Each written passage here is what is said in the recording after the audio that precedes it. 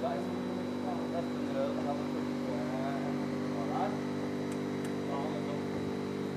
har han rolla inn på den.